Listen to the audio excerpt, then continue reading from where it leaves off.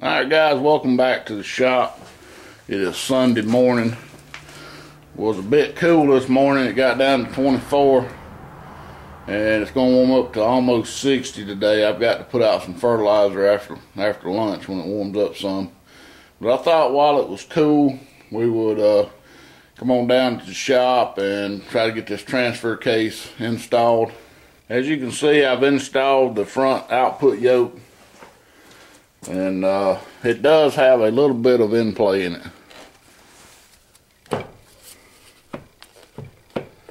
It's got a good bit of in play in it. But without having one to actually test to see if there's not supposed to be any in play whatsoever, I don't know if that's right or not. I can only go by what the book is showing and what the book is saying because I've never rebuilt one of these things before. But uh, uh, the only thing that uh, it says, uh, let's see if it tells you anything, align front output shaft thrust bearing assembly and front case correct installation sequences thick race, thrust bearing, thin race install front output shaft. It don't say anything about checking in play. Uh, there's no uh, nothing in here whatsoever about checking in play. It just says thick, thin, and in between thrust bearing. So, and even when it says install the yoke, uh, install yoke seal washer and yoke nut well, install front yoke, install the seal washer and yoke nut, tighten nuts to 120 foot pounds. Well, I tighten this nut with an impact because there's really no way with it off the truck to keep that damn thing from turning to get 120 foot pounds unless you had somebody here helping with a couple of bolts in here and a pry bar and everything holding it. Uh, I think that's being a, that being a lock nut uh, and I put it on with the impact, I figure it's got at least 120 foot-pounds. That being said, all we need now is to install our uh, front gasket and walk it over to the truck. So let's get our gasket on. So here's our front gasket. Nose here it's got uh, little places you can cut out the center one, but we're going to leave it because we actually do have slots in the in the adapter. And that also helps line it up right here on this. So what we're going to do is I'm going to put a little bit of Loctite 151 on here. And I'm just going to go just down this area right here. Get it to come out. Just a thin bead. And this stuff is thin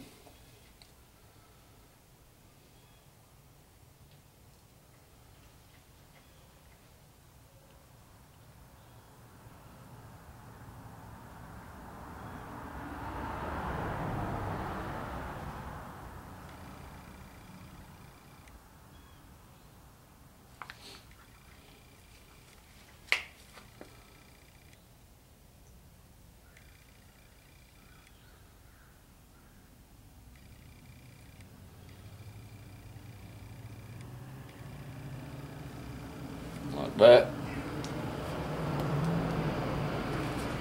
We'll install our gasket and I don't think there's any particular way this thing has to be installed as long as your all your, your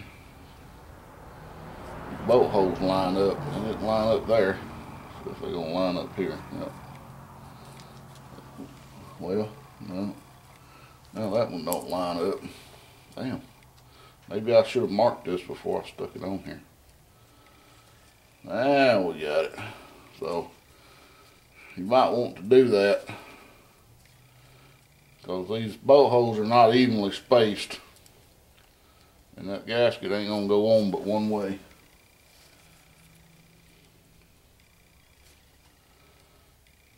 and that'll hold her gasket on.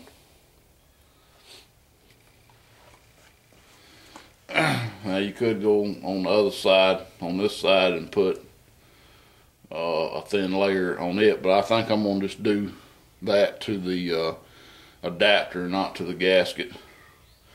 So let's go get our bolts uh, for this, and I'll get you set up over at the truck frame, and we'll try to get this thing slid on. Remember this empty weighs about 70 to 75 pounds. So it is a it is a handful. And uh, of course, it's always helpful to have somebody helping you, but I have put them in by myself, so I'm not really too concerned about it.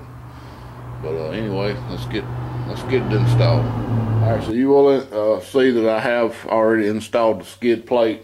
It's going to be a lot easier to do it before you put the transfer case in. Yep, this thing's heavy.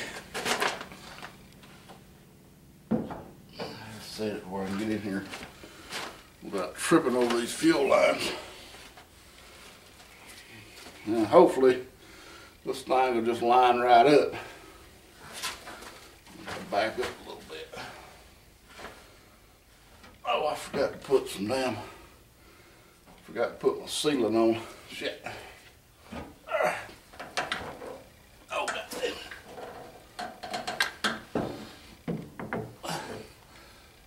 Sit down, boys. I have got no room.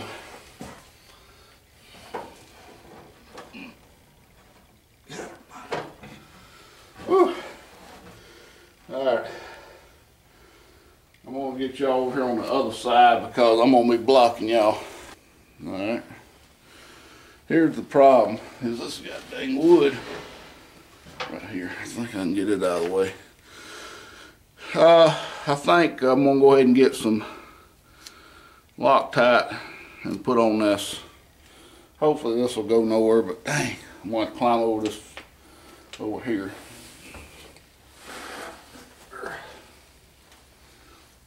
Don't you go nowhere, transfer case.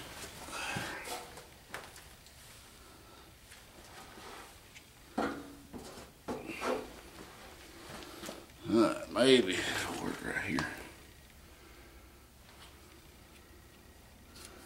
And we just made it on the outside edge. Fill my boat hole up. This is gonna be fun, getting down through here.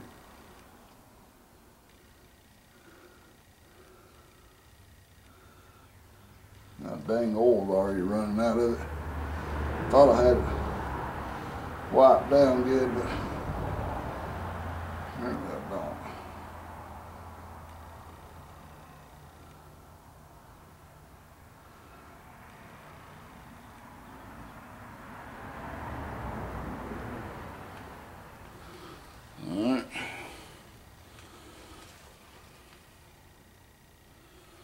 Okay, now the fun part, line this joker up. And hopefully everything lined up right. It'll drop right in. Make sure our boat hole's still lined up and they look good.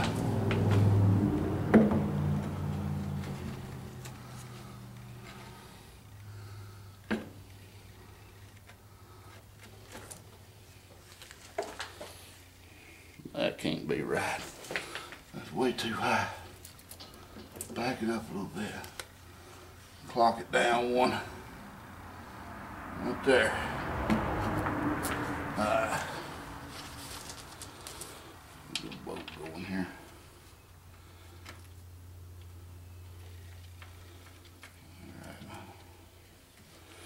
Now, that's how you're gonna do it. You need to don't have it clocked way up. That ain't gonna work. Okay. Now it is a good idea to put some blue Loctite on these bolts. You can see maybe that they had some on here, so I'm gonna try. I don't know if I have enough, but I'm gonna try to put some back on here. As long as my gasket didn't move, we'll be all right.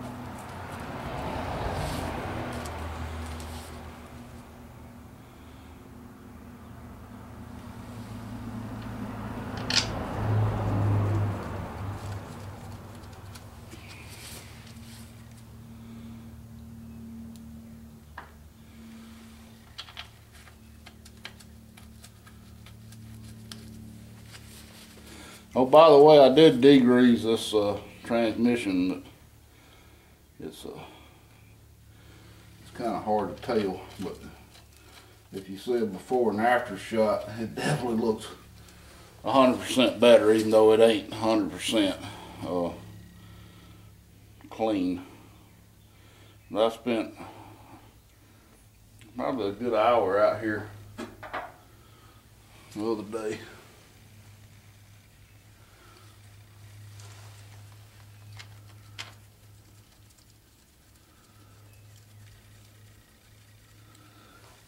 Course the last one's this first one I put in.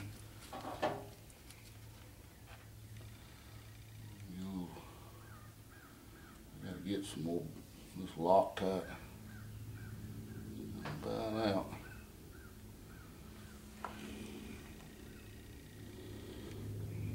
We don't have enough to do it. Got a little bit on there. Gotta get some more. Bit dry enough.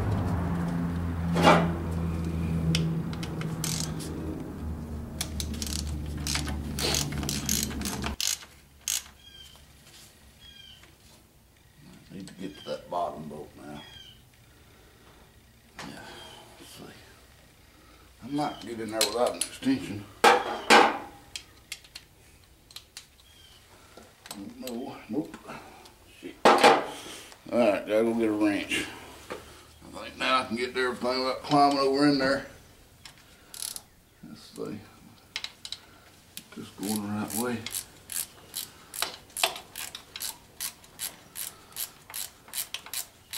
This uh, Loctite does not harden on the outside. It is, it only hardens where there's no oxygen. So between the, the mating surfaces. That's why they call it anaerobic. It works, it, it, it cures in the presence of no oxygen. What you think? How does it keep from curing in the damn tube? I don't know how that works. Maybe once it's exposed to oxygen.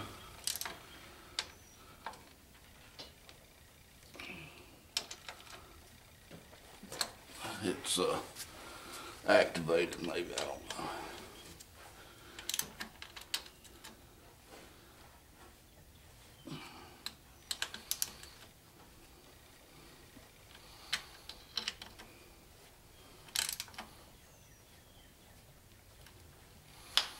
I think that'll do it. Alright guys, so the only thing I got left to hook up is the speedometer right there in that hole. And I'm, I'm waiting on the seal kit for it. I got it ordered, so it should be here sometime by the end of the week. And we'll get the speedometer in there. I'll get the rear drive shaft cleaned up. I'm gonna replace both U-joints in it. And we'll get it uh, painted and ready to go back in. Well, actually, we'll get it in because it has to be slid up in the end to keep the uh, fluid from pouring out. I'm probably going to go ahead and drain the, the oil out of this transmission and change it while I'm at it. You can see that transmission looks dirty. What I was using was just uh, my parts washer degreaser on it and then I come back and rinsed it off and boy I, I made a mess all over the frame and everything else. Maybe you can see. If I can zoom in you can see that crap all over my frame there. So I'm gonna have to take some uh, soap and water to this thing especially the frame. And wash all that uh, crap off it. It looked like it had rinsed it off with the water but it didn't. It just kind of rinsed the heavy stuff out so I was gonna paint the transmission, and but I uh, that's, that's I don't know I don't know if I will or not. I would like to paint the bell housing though, cause that red, that orange or whatever the hell you want to call it. I guess it's orange. Uh, just don't really go good with that black motor. And of course I got to repaint my uh, black, uh, my valve covers. I got to repaint those. Probably gonna have to damn uh, soda blast them to get that old paint off, or take them down to my buddy's uh, uh, machine shop and let him run through his uh, high pressure hot water cleaner. Probably take the paint right off of it. But anyway, guys, thanks for watching. Hope you enjoyed the, vid the video series on on the rebuilding of this transfer case. Uh, I did run it through the selectors to make sure it wasn't binding up and we had neutral. Right now it's in neutral. And uh, hopefully won't have to adjust it because it shouldn't be no different. You know, if you change out a rod, you have to adjust that little nut right here.